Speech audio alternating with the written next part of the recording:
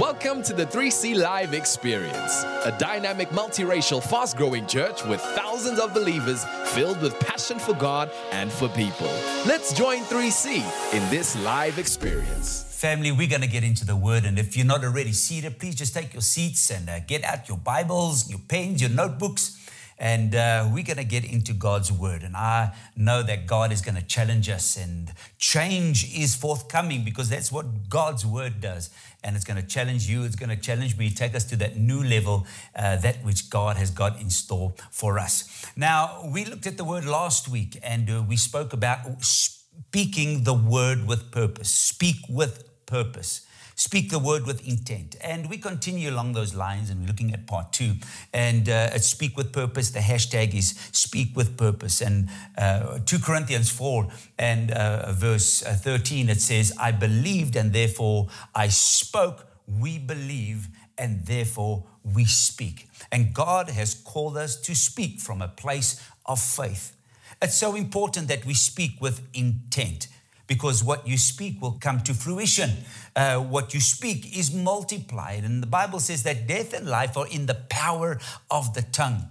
You have the right to choose. You can speak death or you can speak life. I'm not talking about speaking positively because you can speak positively and it still be death.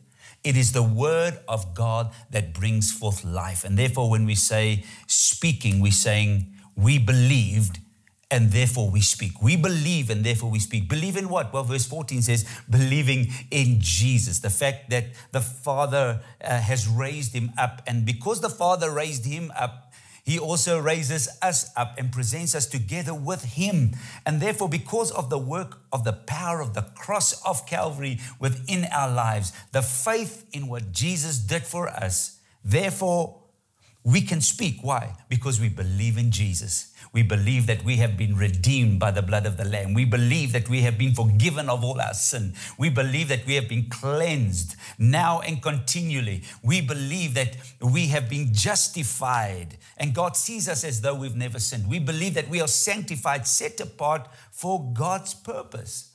And therefore, we need to speak with intent, speak on purpose. We get up on purpose, we walk on purpose, we live life on purpose, we speak with purpose.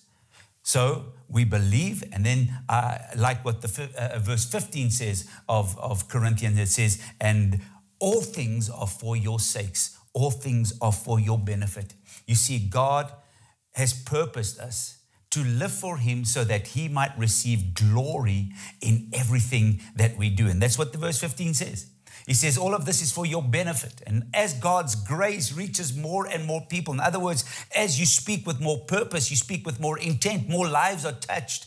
He says, and when there's more lives touched, there's more thanksgiving. He says, and God will receive more and more glory. How does God receive the glory? God receives the glory when through each and every one of us, his character is portrayed. When people look at you, they see the magnificence of God. They see the, the, the, the, the, awesomeness of who God is, the love of God, the grace of God, and the mercy of God. And therefore, irrespective of the situation we're going through, and you can choose, you can choose to speak the circumstances, you can choose to speak the fact. Um, you can choose to speak failure. You can choose to speak discouragement. Uh, you can choose to gossip and uh, put other people down so that you can feel good about yourself, or you can speak the word. We are hard pressed with troubles on, on every side. He says, yet we're not crushed. So we don't speak the troubles, we don't glory in the troubles. But you know what? We're not crushed. He says we are perplexed. In other words, there's uncertainty in our future. He says, but we're not in despair. He says we, we are persecuted. In other words, there's organized, systematic, continual harassment taking place against us and against our lives. He says, but we're not forsaken. In other words, we're not left uncared for. God is with us. We struck down. In other words, we've gone through stuff. We felt the blows of life. Might it be through health? Might it be through through uh, the loss of a loved one? Might it be through violence that you've experienced? Whatever it might be. He says, You've experienced that pain and you've been knocked down, you've received that blow. He says, But you're not destroyed, you're not counted out. Why? Because God is with you. And therefore, you can decide You can decide what you speak. You can, you can decide you're going to speak the circumstances, you're going to speak the fact, or you're going to speak the word of God. And that's why it's so important. We need to speak with intent, speak with purpose, forging the future, making sure that we speak the future for the benefit of others. Verse 15 of 2 Corinthians 4, for the benefit of others. In other words, we don't live for ourselves. And that's why James chapter 1 and verse 22, he says the following. He says, But don't just listen to God's word. You must do what it says. Otherwise, you're just fooling yourself. You see, this is what Christianity is about. This is what uh, uh, uh, being spiritual is about. Is that we don't just listen to the word of God, but we obey the word of God. Verse 25 of James chapter 1 says, But if you look carefully into the perfect law that sets you free, and if you do what it says and don't forget what you heard, remember the word of God, he says, then God will bless you for doing the word. In other words, God will bless you as you apply, as you speak it into existence, as you understand who you are. What happens now is you start speaking accordingly, and as you speak it, you speak it into existence. But the problem is, verse 26, he says, But uh, you claim to be spiritual, you claim to be religious, I'm going to church, I'm paying my tithes, I'm singing everybody, look. He says, but uh, you can't control your tongue. He says, and if you claim to be religious and don't control your tongue, the Bible says you're fooling yourself. What, what type of spirituality is that? Your religion is worthless. You talk you Christian, your Christianity is useless. If you talk about you so spiritual, but you can't control your tongue. In other words, you you're speaking doom and you're speaking failure and you you you you you're speaking discouragement uh, in your life because that's what you're going to get. And it's not just in your life. You're talking, you're speaking suspicion, suspicion of suspicious of everybody. See, you can't, you can't not have faith. We've got to have faith in God. Having faith in God means you have faith in people. You see, because you trust God, you can trust people. We're all fallible, we all make mistakes. But you see, the same God that's working in my life is the same God that's working in my wife's life, is the same God that's working in my children's life, is the same God that's working in your lives, is the same God that's working in every person's life that is now sitting in prison. It's the same God working in their lives. You think God's word can't change and transform people's life? Where's the faith? He says, I believed and therefore I spoke. So we can't just speak judgment on people. We can't just uh, uh, uh, take people's failures and uh, identify them according to their failures. No, he says pure and genuine religion in the sight of God is what? It means you care for the orphans. In other words, you've got a spirit of a father, you've got a spirit of a mother. This is not just physical orphans, this is spiritual orphans. What's the issue we have in our nation today? Is fatherlessness, motherlessness. That's the issue whether it's in the uh, squatter camps where we are very, very active. We see in the street the fatherlessness, the motherlessness. And let me tell you, even in the wealthiest of places, there are children that do what they want. They don't have parents that are leading them they, uh, in the fear of God. So we have a fatherless generation, we have a motherless generation. And God has called us to take care of the orphans not just to look after your own children, but to look after the, the, the, the neighborhood's children. It takes a village to raise a child. So together we have a spirit of a, of, a, of a father that even when your kids make mistakes, you still love them. You still want to help them. You still care for them. You give them another chance. You, you forgive them and say, right, let's, let's work on this together. See, we need that spirit. That's pure and genuine religion. That's spirituality. That's what it means to be a Christian. So my question is, where's, where's the orphans you're caring for? Where's, the, where's, where's your disciples? Where, where, where is the responsibility that you're taking, not just for your own family and just me and my little own and protect what I have? Where is the heart that you have? And you say that you're a Christian, that God dwells within you, the big God that has the capacity to love the whole world. Don't you think He can give you the same capacity that you can love more? and give of yourself even more. You see, the, the less you focus on yourself, That's what it says in it says being obsessed with yourself, obsession with self. The less you're obsessed with yourself, but you're given over to God, see, the more God grows your capacity. And that's why we, we, we also mentioned that's why we go through tests and trials. Why? That God can increase your capacity to love more. Embrace it and say, Thank you, Lord. I'm growing, I'm learning. It's the pressure that grows you. So true spirituality is not about just singing kumbaya, my Lord, saying, I love you, Lord. Show the love. Where's the action? What are you doing? Don't say, I love you, Lord. Let's see how you love the Lord. And that's why here at the 3C family, you've got to understand we love people. We love people, whether they like you or not, that's irrelevant. We're not here to get everybody to like you. You're not trying to get your children to like you all the time, although it helps, right? No, we love our children irrespective, irrespective of whether they agree with you or not. We show our love. And that's why the Bible says true religion means you care for the orphans and the widows. In other words, those that have lost a team member, those that have lost a pillar within their life. There are people that don't have that pillar anymore. We are called to help them.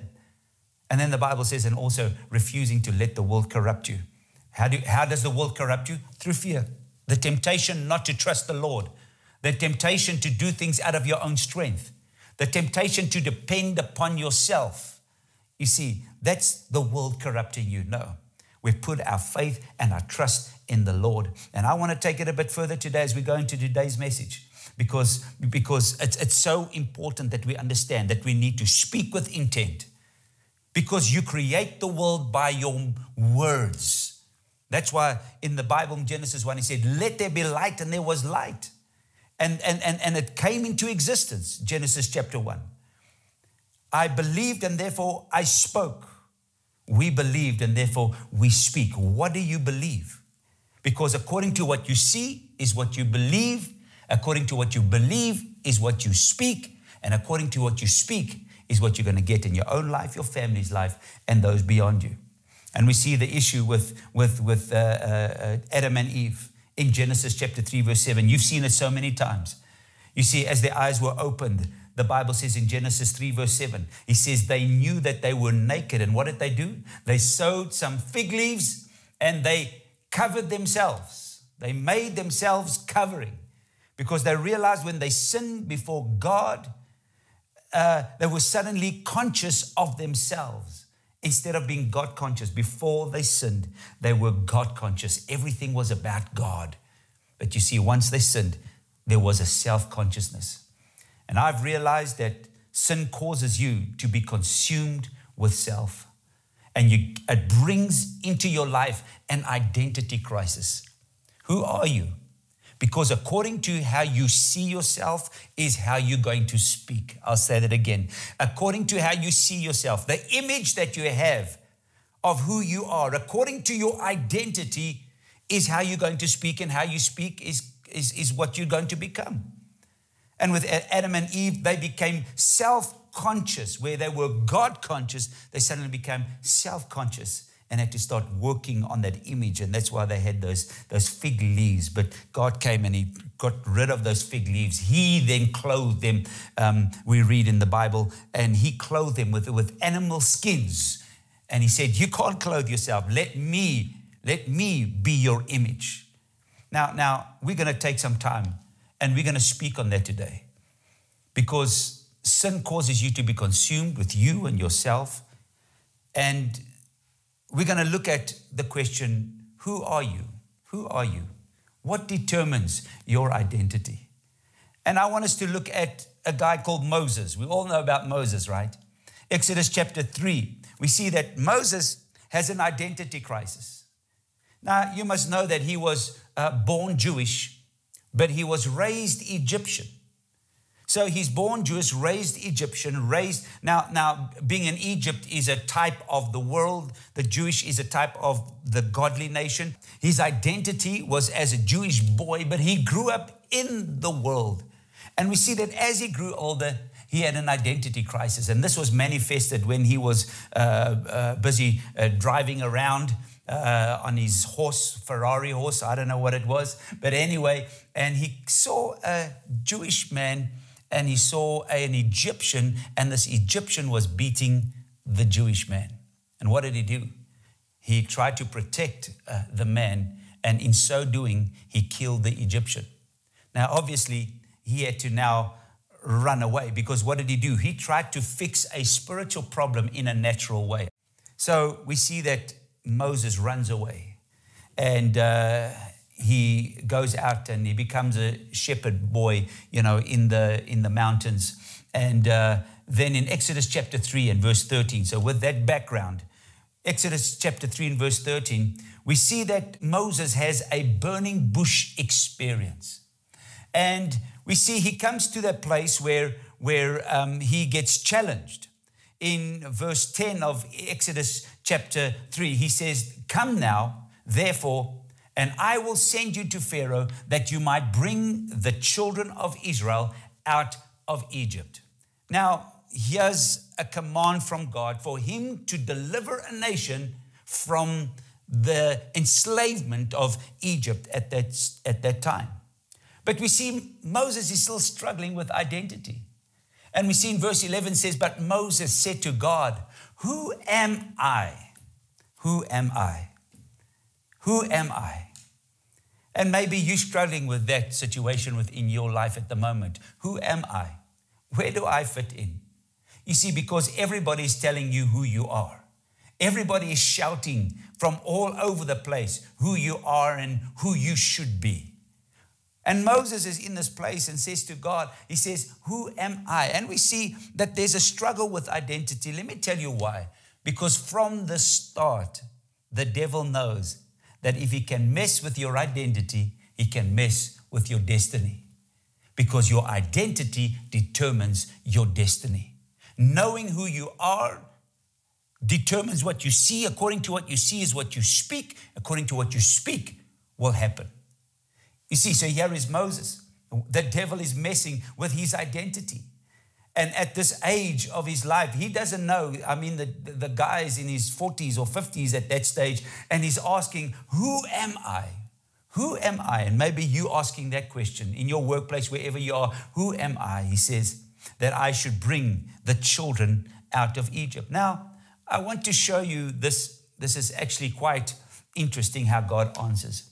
And he says, to Moses. He says to Moses, Moses, I will certainly be with you. I will certainly be with you. And then he goes on and says, you know, and and this shall be a sign to you that I have sent you when you have brought the people out of Egypt. You shall serve God on this mountain. What does Moses say? Moses says, mm, Yeah, indeed. He says, Sure, but actually, that doesn't help me. Because Moses is saying, who am I? What does God say? He says, I will certainly be with you. Moses is going, Hang on, that's not what I'm asking. I'm not asking if you're going to be with me. God answers, He says, I will be with you. Moses is saying, He says, Indeed, I understand. He says, When I come to the children of Israel, He says, Here's the problem. I need to be able to tell them who sent me. What is his name? I need a name. I need to name drop. You see, we, we're good at name dropping, right? We're big on name dropping. He's saying, hang on. He says to the Lord, look, I appreciate that you're going to be with me. He says, but, you know, I need a name. I need a name. What shall I say to them? What is his name? What shall I say to them? I need a name. So, what does God say in verse 14?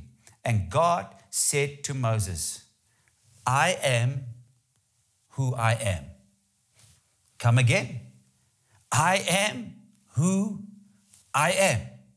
When Moses asked, Who am I? Uh, God says, I will certainly be with you. Because in actual fact, who you are, it, it doesn't really figure into the situation. It's who God is that really matters.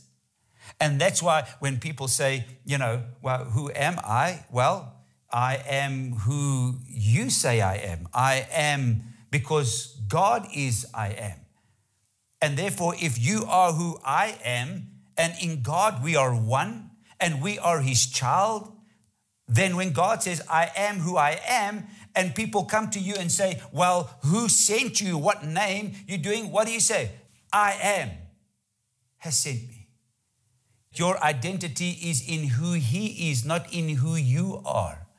And that when God sends you and places a mandate on your life, you are sent with the full authority of the Father, of the power of God that is backing you. And all you have to say is, I am, sent me.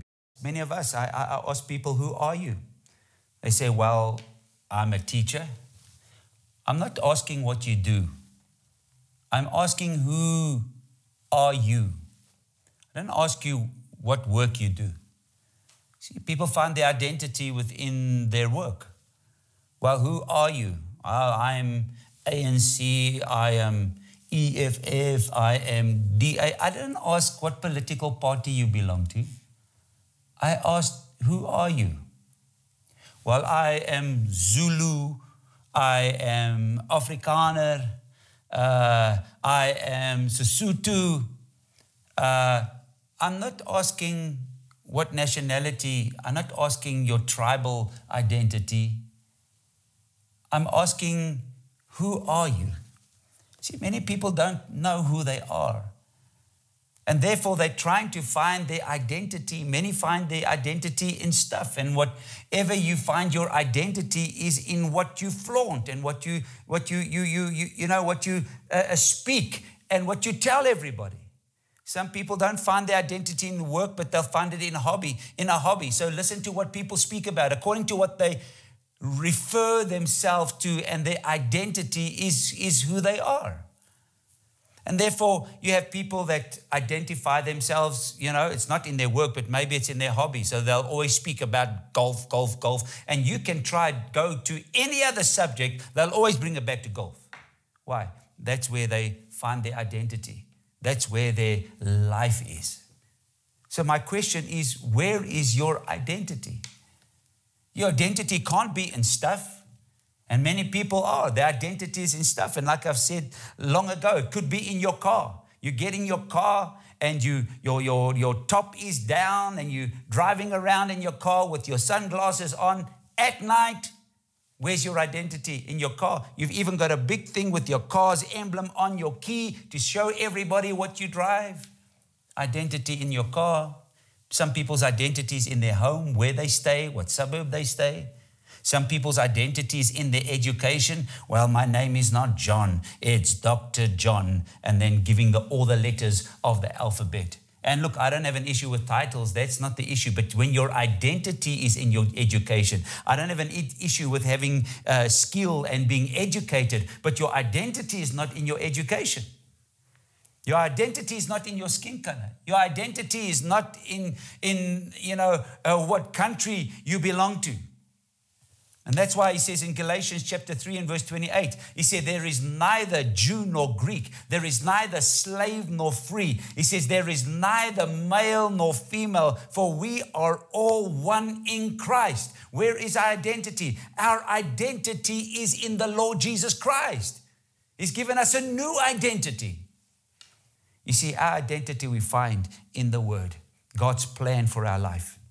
Identity is not found in race, Jew or Greek, or slave or free. In other words, whether you got money or whether you don't have money, um, or slave or free, uh, whether you're an employee or an employer, uh, whether you own or how much money you have. There's no identity in your rank as far as your finances are concerned. He says, in actual fact, there's not even a rank as far as male and female is concerned. That's what the Bible says. Bible says that uh, neither male nor female, he says, you are all one in Christ Jesus. We're all one. You know, look at Luke chapter 1 and verse 36. We talk about uh, Elizabeth. She conceived a son in her old age, but this is now the sixth month for her who was called barren. You see, that's what we tend to do. We call people by their failures. Elizabeth, they called her barren Elizabeth. She was known and that's Elizabeth. Which, which Elizabeth are you talking about? No, the barren one. Oh, okay. No, we know exactly who you are talking about. You see, and what is God doing? He refutes that. And Elizabeth, she, she decided that she will not be called by her failures, but rather she took the word of God. And you know what happened? She was able to bear a child. We look at Genesis chapter 17 and verse 4. He says to Abraham, No longer shall you be called Abram, but Abraham. For I have made you a father of many nations. I will make you exceedingly fruitful. See, they decided once again, they went around and said, Right, no more Abram. Now we call you Abraham. And every what does Abraham mean? Abraham means father of many nations. Father of many nations. Decided not to be called by the failure or the weakness, but rather to speak the word. Speak the word. And every time Sarah would say, Abraham, father of many nations, and then everybody looks, they see this old man and old woman walking around past their childbearing years what did they do? They spoke the word of God. And verse 15, it speaks about Sarai as well.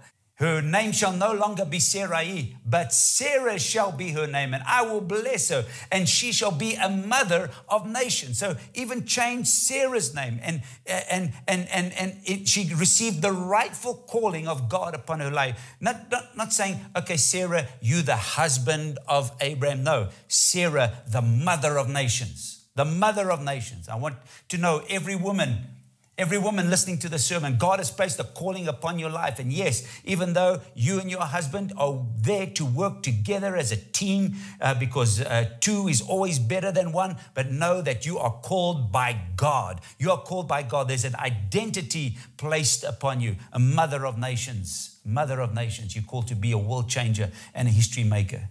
But what do we do? We tend to call people by their failures. Don't we do that? Oh, you know that guy? Which guy are you talking about? You know that druggy guy?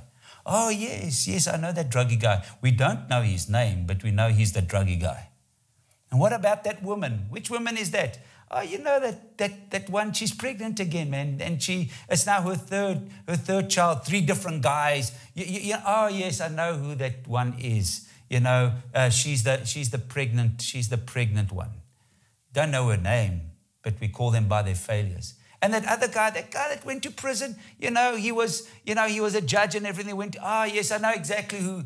Yes, the, yeah, the, the, the prison, the, the, the, prison judge. Yes, yes, you know, we know about that guy. And that guy who lost his house, remember, he was always thought, you know, he was so wealthy. I always asked, yeah, I'm not sure where he got his wealth from. Yeah, yeah, yeah, that guy who lost everything. What's his name? No, I don't know what his name. That guy that went bankrupt. They took his milk and everything. You see, that's what we do. We call people by their failures. We call people by their failures. We know them by their failures. And that girl, the one with the short dress, oh, yes. And that guy, the guy that, that doesn't have shoes, yes. You see, we call people by their failures. But thank God he doesn't call us by our failures. Thank God that he calls us according to the destiny that he has placed upon his, our lives. No matter what label the world is putting on you, no matter what label Twitter is putting on you, no matter what label your friends at school are putting on you, no matter the label you see, at the end of the day, you are called by God. Your identity is in God. And that's why 2 Corinthians 5:17 says, Therefore, if anyone is in Christ, he is a new creation. All the old things have passed away. He says, and all things have become new. Isn't that incredible? In other words, you've moved from identity to destiny. We have a new identity in Jesus and in this new identity, it determines the destiny, and that destiny is in Jesus Christ. And now, according to how you see yourself, is according to how we speak. According to how God sees you, is how you see yourself, covered by the precious blood of our Lord Jesus Christ. You have been redeemed, you have been forgiven, you have been cleansed, justified, and sanctified, set apart for God's purpose. What do you speak? You don't speak your failures. You don't speak your insecurities. You don't speak the fact. You don't speak the, the, the, the reality. What do you do? You speak the future into existence. You speak the word of God and prophesy and proclaim the word of God and start seeing yourself the way that God sees you. Start seeing yourself the way that God sees you.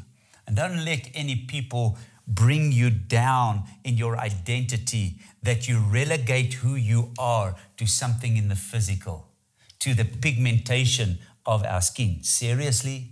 To what language you speak, to how much money you have in the bank, to what car you drive, to where you live and where you stay, to how much you possess.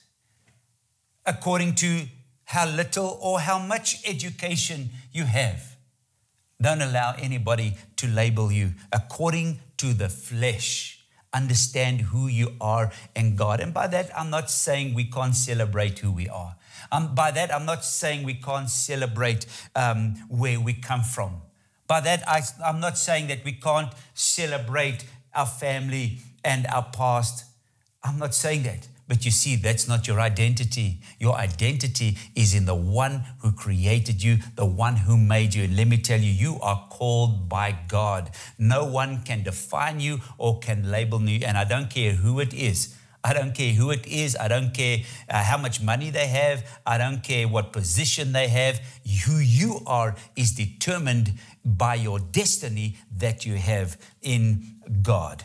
Therefore, Let's look at what that is. And I start closing off with this. 2 Corinthians 5 and verse 18. It says, Now all things are of God who has reconciled us to himself through Christ Jesus and has given us what? The ministry of reconciliation. Now that we're in Christ, what, what, what is our, what is, what is the way we serve? To, a ministry means a way of serving. So we minister what? Reconciliation. So everybody has received the ministry of reconciliation in verse 19 and has committed to us the word of reconciliation.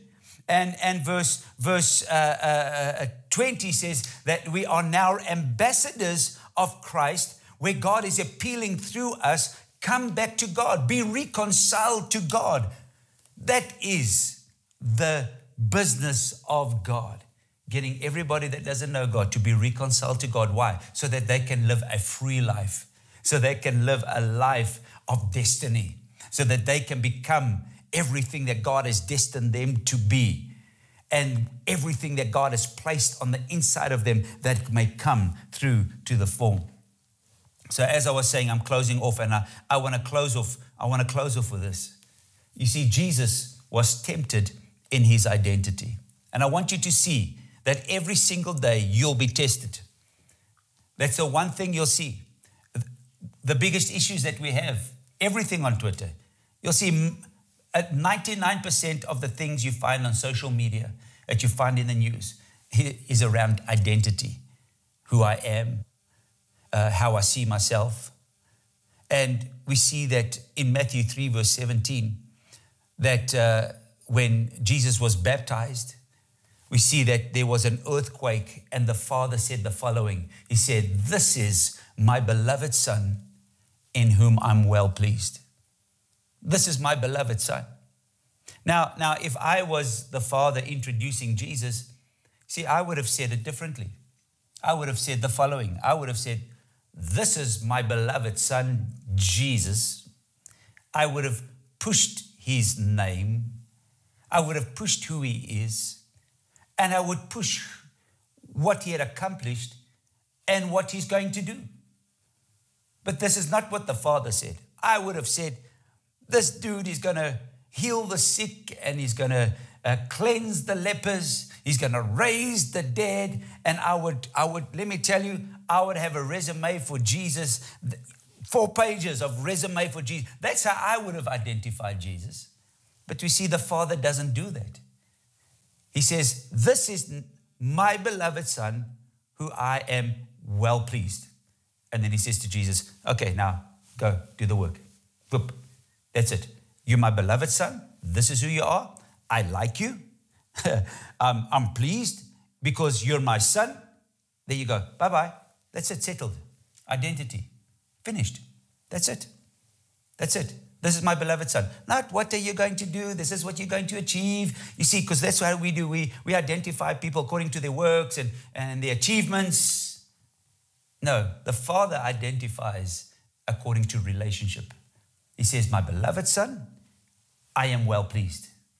And that's what God's saying to you today. He says, You are my child. You're my son. You're my daughter. I love you. Uh, I like you. Now, I, I'm well pleased. Now, go do the job. Off you go. I've placed you on the earth. There's purpose for your life. I love you. You're my daughter. You're my son. Now get on with the business. You see, it's, it's, it's as simple as that. You see, there's confusion when there's fear, there's confusion when there's disobedience. With confusion comes chaos.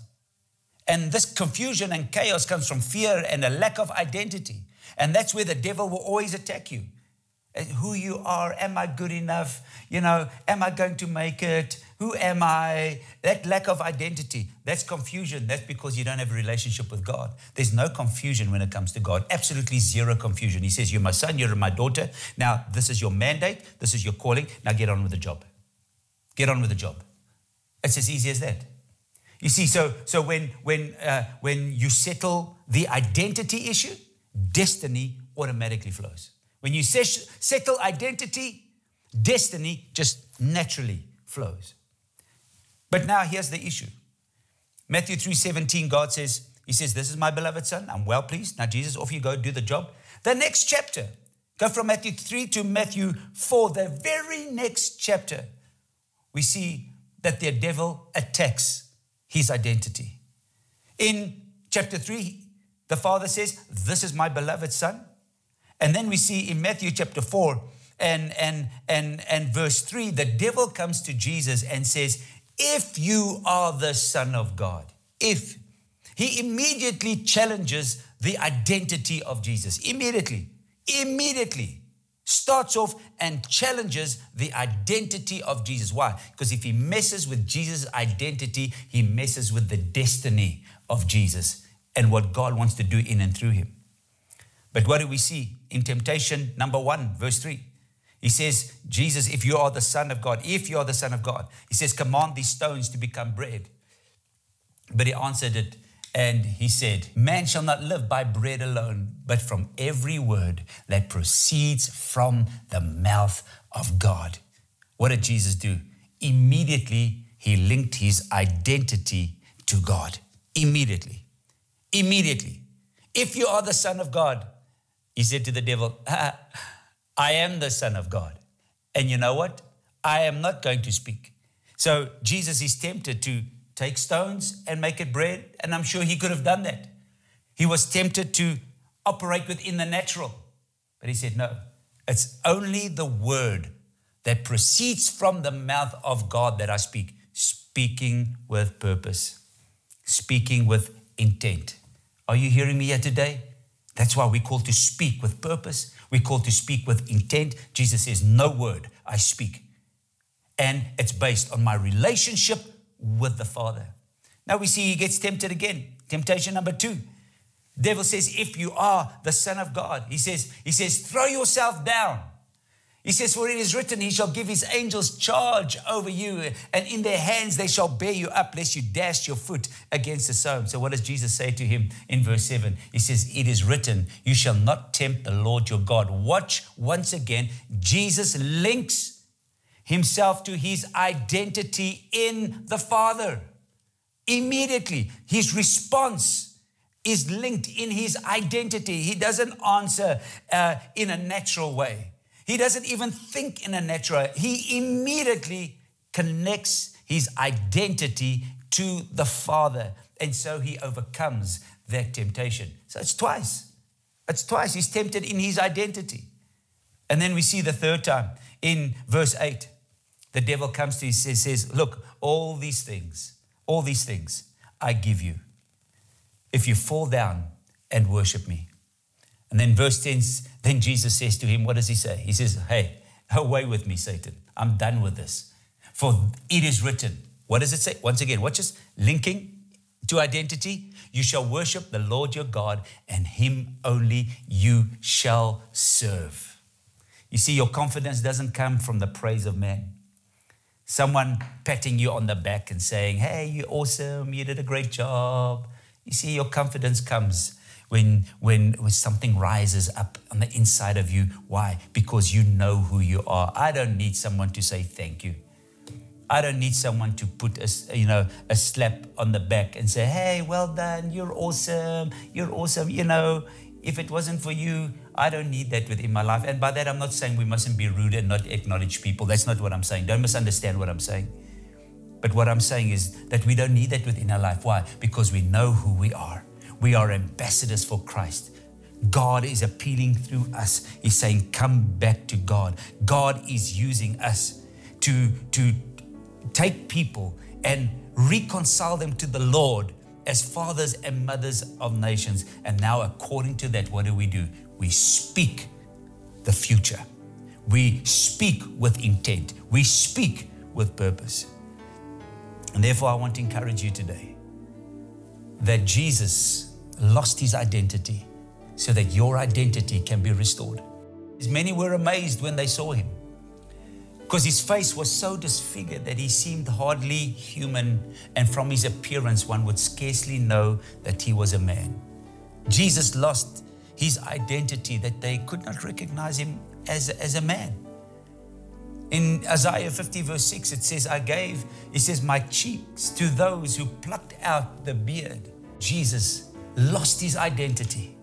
The blood flowed from his face and he lost his identity so that our identity can be restored.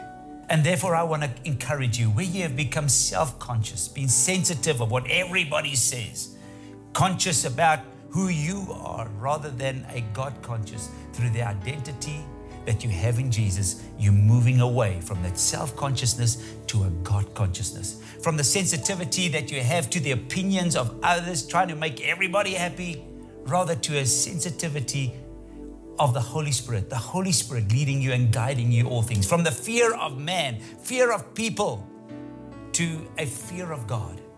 From rejection that you've experienced to acceptance in God. From the place of shame to a place of confidence. A place of inadequacy to being complete in God. From a place of insecurity to a place of security and confidence in God. And from that low self esteem, through the blood of Jesus Christ, you have a healthy esteem in Christ. You know who you are. And therefore, I want you to know today you are the answer. You know who you are. And God says, I equip you for every good thing for doing my will. And I will place within you my desire that causes you to do everything that pleases me. And through the blood of Jesus, there will be a confidence as you come into my presence to speak the word of God, to be a father and mother of nations through the blood of Jesus as you experience my redemption, my forgiveness you're experiencing my, uh, uh, my, my, my, my power. God says, This fire is birthed on the inside of you. You are a father of nations. You are a mother of nations. Don't settle for second best. 3C Church presents our first It's a Girl Thing virtual women's conference forever. Where were you when I laid the earth's foundation? Tell me if you understand. On what were its footings set, or who laid its cornerstone? While the morning stars sang together and all the angels shouted for joy, have you ever given orders to the morning or shown the dawn its place? The earth takes shape like clay under a seal. Its features stand out like those of a garment. Have you ever journeyed into the springs of the sea or walked in the recesses of the deep? Have you comprehended the vast expanses of the earth? Tell me if you know all this. Have you entered the storehouses of the snow or seen the storehouses of the hail? Does the eagle soar at your command and build its nest on high? God, Creator, Savior, God, with us, for us, God, forever and ever. With your host, Pastor Shanae Pretorius. Forever Virtual Women's Conference, 14 to 16 October 2020. This 3C Live experience was brought to you by the 3C Media Production. For more information, call us on 086 111 or log on to my3c.tv.